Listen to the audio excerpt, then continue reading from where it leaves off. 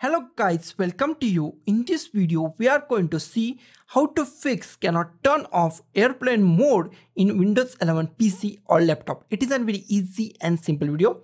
Some laptops have switches to turn on and turn off the network. Try to locate them and press them. Some laptops airplane mode can be turned on or off by pressing FN key with some keys on your keyboard.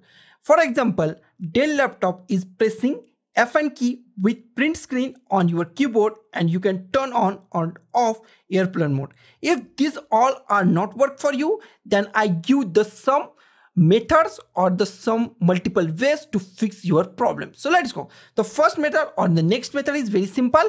Just go to start and just type services. Just type services and just click on the services. Okay. Here is the our services. I just okay. Now here just find radio. Just find radio management service. Just find this. Okay.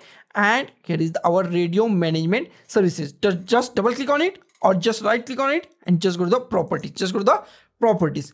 In properties first click on the stop. Here is the startup type is manual. Just change it to automatic. Just go with the automatic. Then just go to the start. Then apply it and then just click on the OK and just restart your machine and your problem must be solved.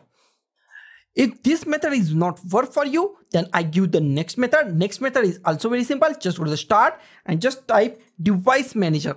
Just type device manager. Just click on the device manager. Here is the our device manager. In device manager, we just go to the network adapter. Just go to the network adapters. Okay and here just go to the your wireless LAN network or the your USB wireless. Just go to the your Wi-Fi, right click on your Wi-Fi adapter, right click on it and just go to the properties. In properties, just go to the power management, just click on the power management.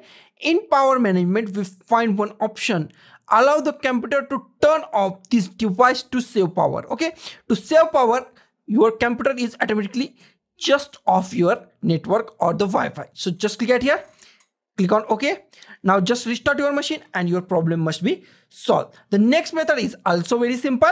Just go to the start and just type settings. Just type settings and just click on the settings. Just click on the settings. Here is the our settings.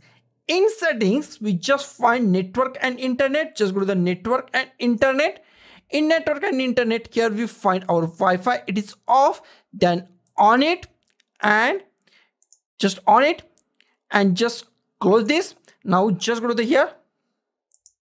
Okay just go to the here. Here just go to the flight mode just off it on it or off it. Off it and in few seconds your wi-fi is automatically start. So guys thank you for watching this video. Don't forget to like share comment on this video and don't forget to subscribe the channel. Thank you guys